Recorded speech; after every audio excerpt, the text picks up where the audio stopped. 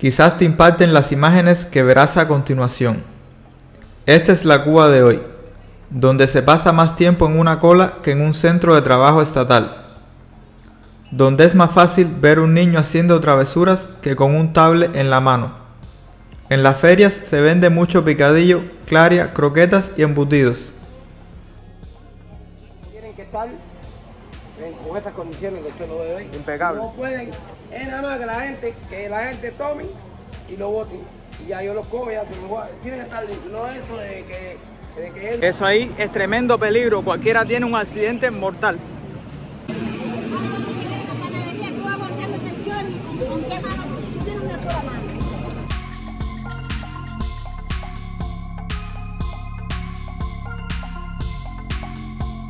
Ahí está cubo, está cubo.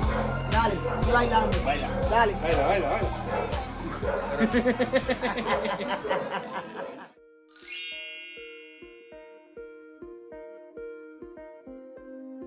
En el día de hoy vamos a estar recorriendo algunas calles de La Habana Vieja y otras de Centro Habana. Esas que no te incluyen en el paquete turístico.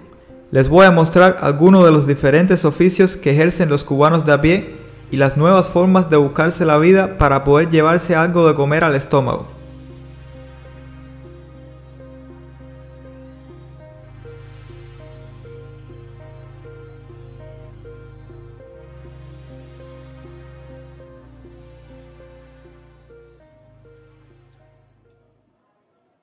Yo creo que en Cuba solamente las personas que tienen un salario bien remunerado o un negocio privado son las que se levantan temprano. Porque se ve muy pocas personas en la calle, ¿no? Son casi las 8 de la mañana ya. Y poquitísimas las personas que se ven en la calle, familia.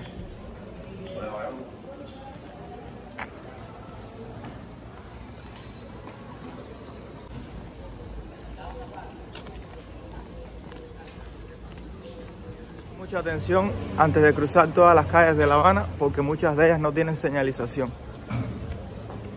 O antes la tenían, las arrancaron y no las han vuelto a arreglar. Y eso pasa mucho, señores, tienen que tener mucho cuidado al andar por acá. No se confíen. Esto que ven acá es un taller de cuentapropistas. Aquí se arreglan casi todo tipo de efectos electrodomésticos sencillos. Debido a la escasez y a la falta de piezas de repuesto, lo mismo te le ponen un motor de lavadora rusa al ventilador que te le adaptan una resistencia de olla rosera en la máquina de rositas. Lo importante es resolver el problema y que funcione el equipo. También hay un zapatero y un cerrajero. Cualquiera de estas tres personas gana más mensualmente que cualquier profesional de nuestro país.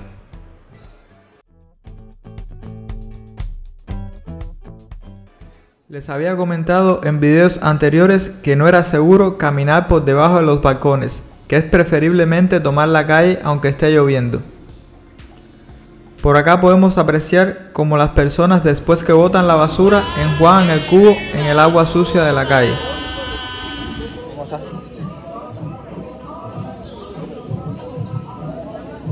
Estoy reforzando. Reforzándolo, ¿no? Doble, doble hilo. Muy caliente y se despegan, ¿ves? Mucho calor.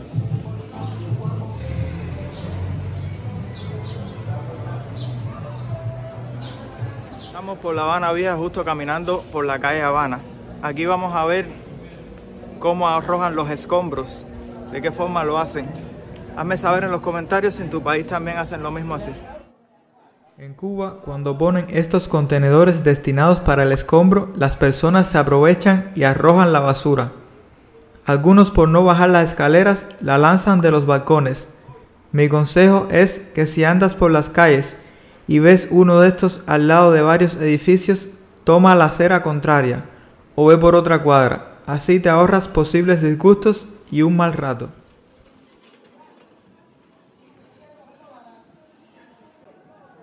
La calle Habana es una de las calles más largas del centro histórico, que lo recorre de norte a sur y de mar a mar.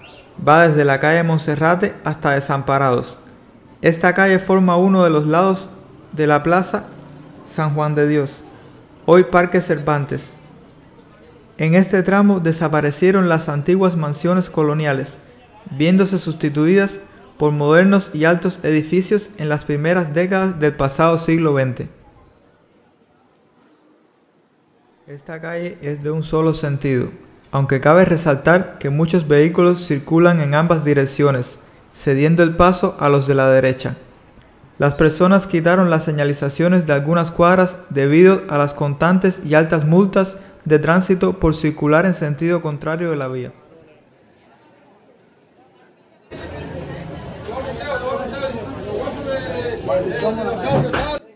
La libra de cerdo ronda los 800 pesos en moneda nacional. Un pensionado a duras penas alcanzaría a comprar dos libras de carne y una de tomate, ya que este último se consigue a 400 pesos la libra. Antiguamente se veían más personas por estos agromercados. La inflación ha traído como consecuencia que la comida más normal y decente en cualquier parte del mundo sea vista como un lujo en la Cuba de hoy. Muchos son los que pasan solo a mirar con la esperanza de encontrar algo barato para aportar algo a los suyos. Es triste la realidad que se está viviendo en Cuba. El mango hoy juega un papel súper importante en nuestra sociedad. Es la fruta que le ha salvado la vida a miles de cubanos. Y fíjense por qué digo esto. Digo esto porque entran camiones que venden mangos a 20 pesos y a 15 pesos en moneda nacional no entran todos los días, pero sí entran los fines de semana, los cuales los cubanos van, aprovechan y compran los mangos para la semana completa. Ya ahí tienen la merienda, el almuerzo, el desayuno, tienen el jugo. Entonces van sobreviviendo con mango.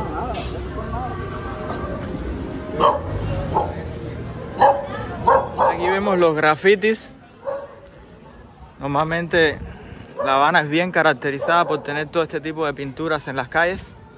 ¿Sabe? Hay paredes muy coloridas, la verdad. ¿Ven? Por acá.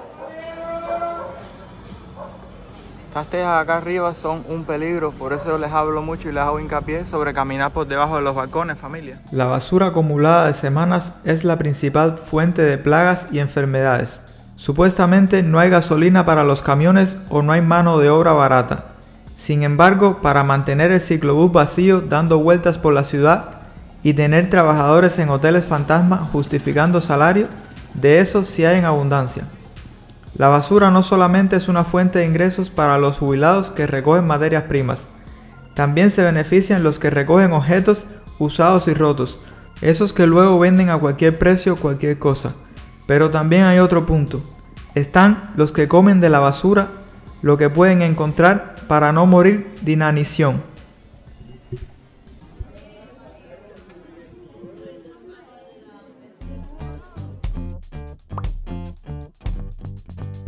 Andamos por la calle Compostela. Ahora vamos a mostrarle una cola justo más adelante. Vamos a ver qué fue lo que sacaron allá, que hay tantas personas aglomeradas. La revendedera de los pañales o culeros desechables, como le decimos en Cuba, se ha vuelto el negocio del momento.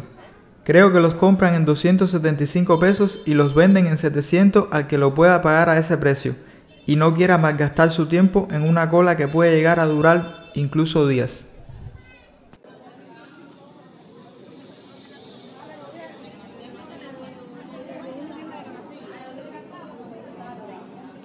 Los pocos jóvenes que quedan andan trabajando en el sector privado. Lo que más abunda en las colas son adultos mayores y mujeres que en muchas ocasiones vienen acompañadas de sus hijos.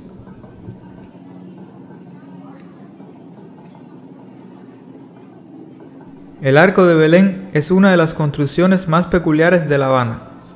El mismo forma parte del antiguo conjunto religioso integrado por el convento y la iglesia de Nuestra Señora de Belén.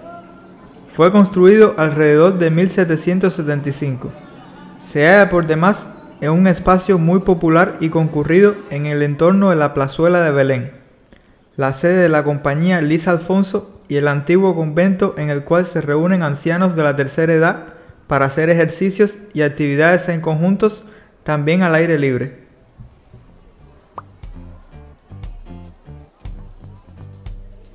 Debido a la falta y a la escasez de medicinas, cada día que pasa son más las personas que acuden a la medicina verde. Incluso se están impartiendo clases de medicina verde en las escuelas, preparando a los nuevos doctores para el futuro. ¿Cómo está la cosa, puro? ¿Tienes fosforera para vender ahí? No, no. Solamente rellena, ¿no? Sí, no tengo. La Habana Vieja es uno de los tantos municipios afectados por la escasez de agua. En tiempos de crisis están los que lloran y los que venden pañuelos. Como todos sabemos, existen personas que se dedican a darle soluciones temporales a problemas permanentes. Y a veces ni todos los vecinos reunidos logran juntar el suficiente capital para poder costear una pipa.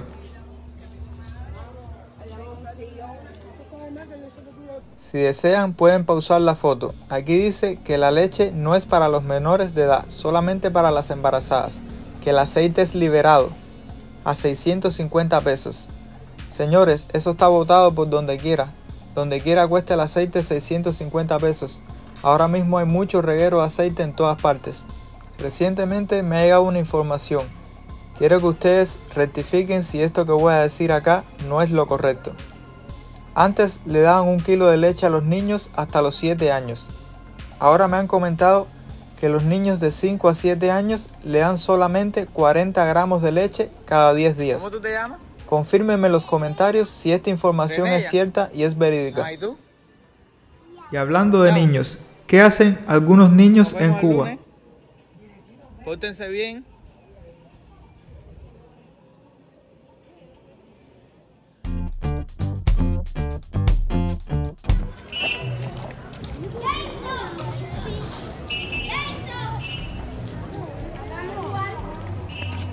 Estoy casi convencido de que muchos de los padres de estos niños no saben ni remotamente que ellos se dedican a hacer estas cosas. ¿Qué creen ustedes sobre estas prácticas? ¿Diversión, entretenimiento o peligro? Déjenme saber en los comentarios si alguna vez alguno de ustedes hizo eso acá cuando estaba en Cuba o lo ha practicado en su país. Acá les estoy dejando otro video para que vean que ya esto es algo habitual. No es algo que simplemente ocurra una sola vez o que se vea de vez en cuando, sino que es algo que todos los chicos lo hacen. Y no solamente en patines, sino también en bicicletas, patinetas. Ah, yo te sacudo, te sacudo. Dale, sigue bailando. Baila. Dale. Baila, baila, baila.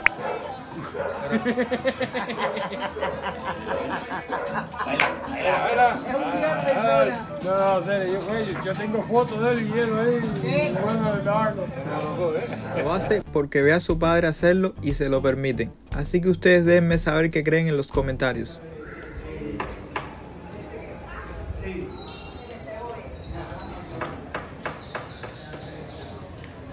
¿Cómo estás, tía? ¿Todo bien?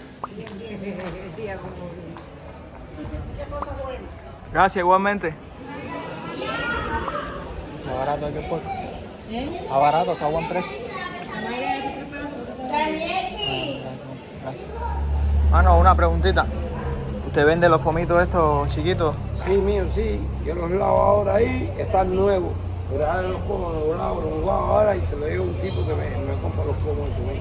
¿En cuánto los vende usted? A tres pesos lo vendo. Yo limpio, yo se los lavo, se los llevo y y él me lo paga tres pesos del que yo le llevo. ¿Dónde Pero lo- tienen que estar en- con estas condiciones que usted lo ve ahí. Impecable. No pueden, es nada más que la gente, que la gente tome y lo boten. Y ya yo los cojo, ya se los voy a- Tienen que estar limpios, no eso de que, de que él no es, mire que yo no puedo dar hasta, hasta refresco eso todo. Si es así con eso, sí. Claro. ya.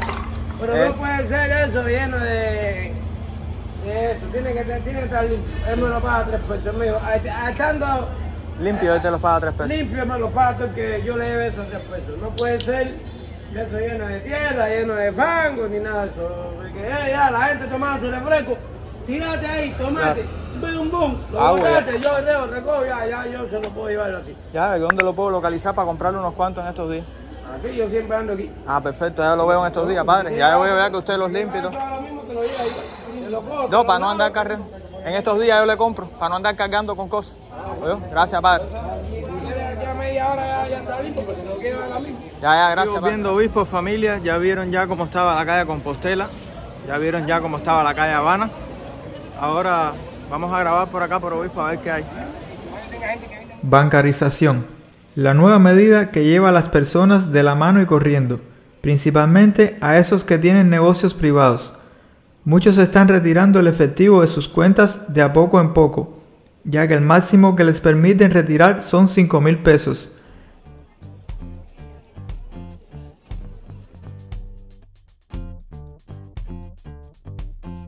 Vamos por el Boulevard de San Rafael, camino a la Feria de Galeano. Vamos a ver qué tienen para ofrecer por allá. Acá podemos mostrar la afluencia de personas que están en el Boulevard.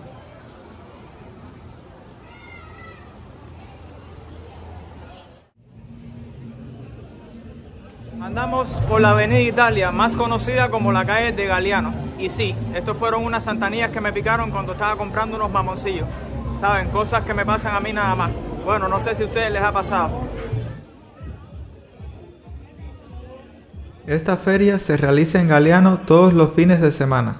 Por lo general los embutidos y demás productos cárnicos que venden por acá son un poco más baratos que en otros sitios. El picadillo te lo venden a granel al igual que la masa de hamburguesa y la masa de croquetas. El envase lo pones tú o si no lo pagas extra en 5 pesos en moneda nacional. En algunas carpas venden queso blanco criollo, pollo, aceite, entre otras cosas más. El pan con lechón no puede faltar en cada esquina.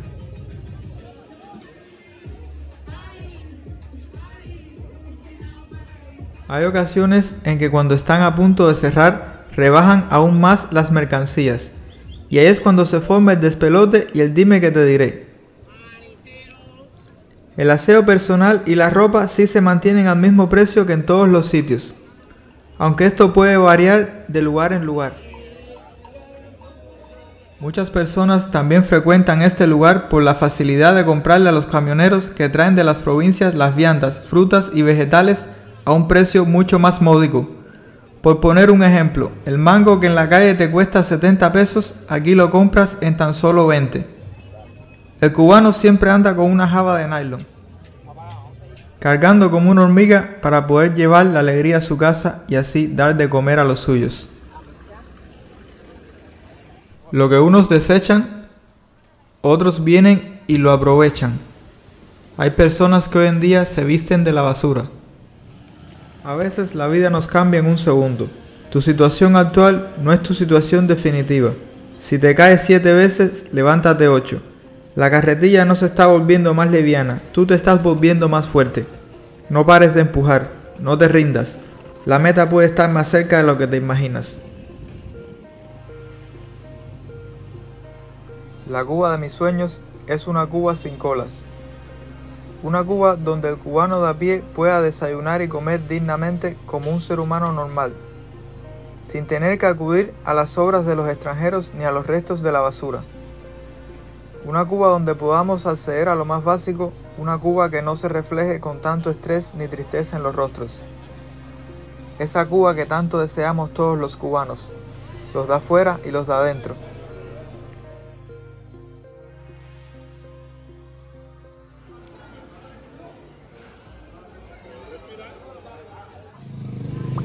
A que ustedes no adivinan qué fruta es esta. Comenta si sabes el nombre de esta fruta. Muy deliciosa, muy exótica y muy rica, por cierto. Hace años no me comía.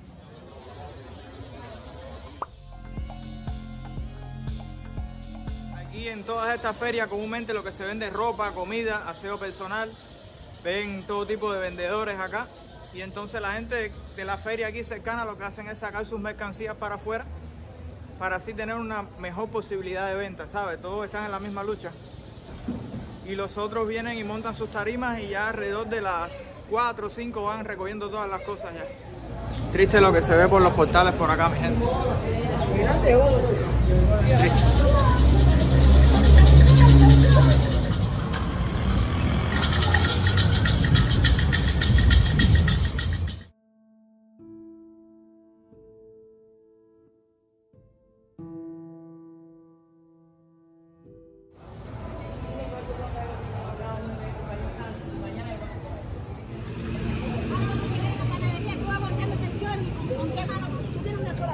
Eso ahí es tremendo peligro. Cualquiera tiene un accidente mortal. Mucha atención para todos los conductores y las personas que cruzan las calles sin mirar para abajo. Hay alcantarillas sin tapas o mal puestas, lo cual puede ser una trampa mortal. Presten mucha atención, por favor. Familia, aquí estamos en el Parque Central. Espero que les haya gustado el video. Si es así, suscríbanse al canal, activen la campanita de notificaciones, dejen su like y compartan este contenido con sus amigos y familiares para así seguir creciendo como creador de contenido. Déjenme sus buenos comentarios ahí sobre qué ustedes creen acerca de lo que vieron atrás.